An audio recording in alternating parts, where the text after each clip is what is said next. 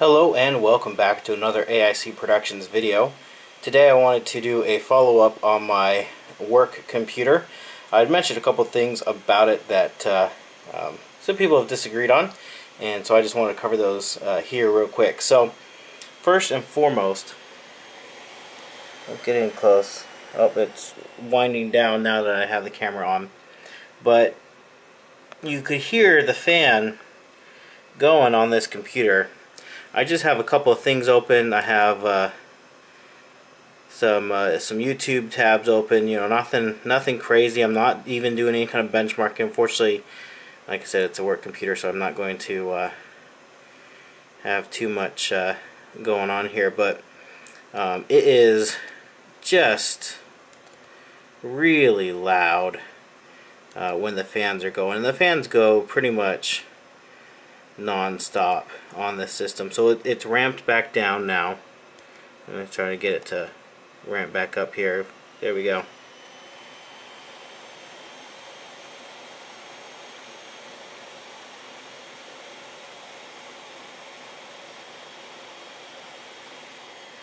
And that's just with a YouTube video. Let me go ahead put it to sleep.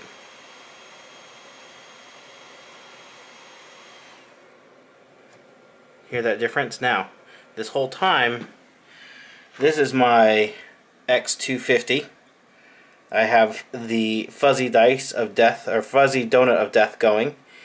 And this is how loud it is. That's it. Hear how quiet that is? This is what I expect from a workstation class laptop.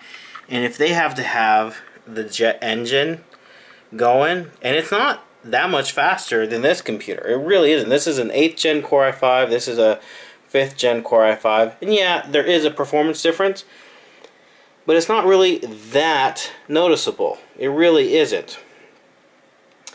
So the second thing I wanted to address is the keyboard. This, I, have had a, a, little over a week since my last video, uh, I recorded my last video, to, to spend some more time with this keyboard. And if I'm really careful about pushing and holding the shift key, it solves a lot of my problems, but it has definitely slowed down my typing. It still doesn't forgive the just the overall feel of the keyboard. I just I don't like it, and maybe I'm crazy that's a personal preference. The keyboard, let me go ahead and close out Furmark here real quick. The keyboard on the Lenovo it's just so much more pleasant to to type on. And this laptop if it was a six seven eight hundred dollar laptop wouldn't have a problem. It's like an eighteen hundred dollar laptop. It's not it's not cheap. I've paid a lot less for cars. A car I drive every single day I paid less for than what this laptop would cost me if I were to buy it new and that's where my problem comes in. It's not necessarily a terrible keyboard, it's just not a good keyboard. And here, I'll show you this over here. This laptop over here is my IdeaPad 120S.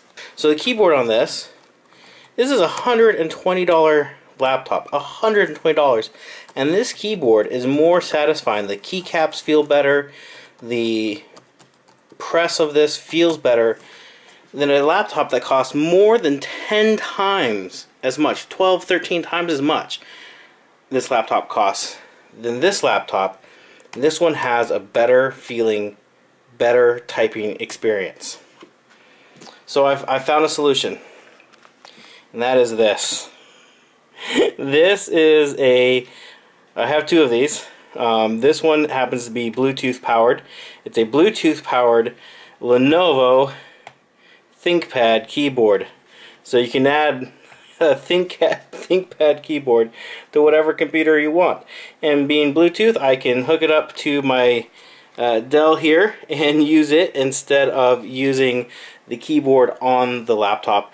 And that will make my life so much more pleasant because this has the same feel, almost, they're close, as the X2.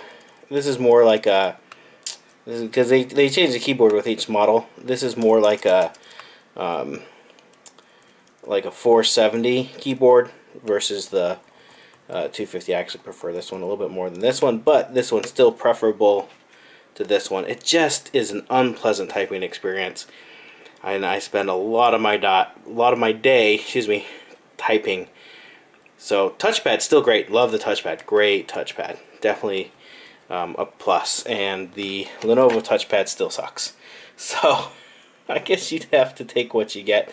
But since I nine times out of ten I'm using an, ex an external mouse anyways, not that big a deal.